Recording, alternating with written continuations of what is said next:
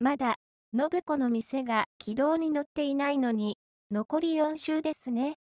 まさかとは思いますけど、残り4週を使って、店を軌道に乗せて、満載参照で終わりってことはないですよね。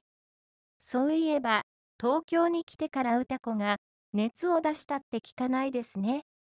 描いていないだけだと思いますけど、悟とくっつくんだったら、歌子は東京に住むことになるのかな？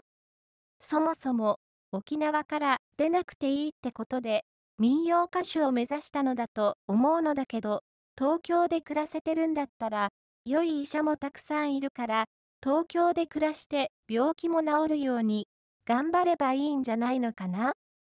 ?22 週の週タイトルは、豚とニガナは海を越えて。さて、ニガナとは？沖縄野菜ですね。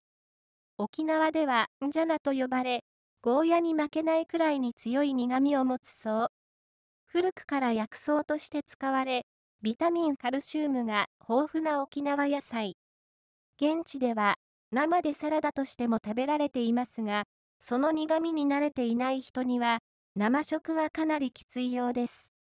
初心者には、白あえでいただくことがおすすめのようです。相変わらず、意味はあるのか？ってタイトルですけど、来週も楽しみにしましょう。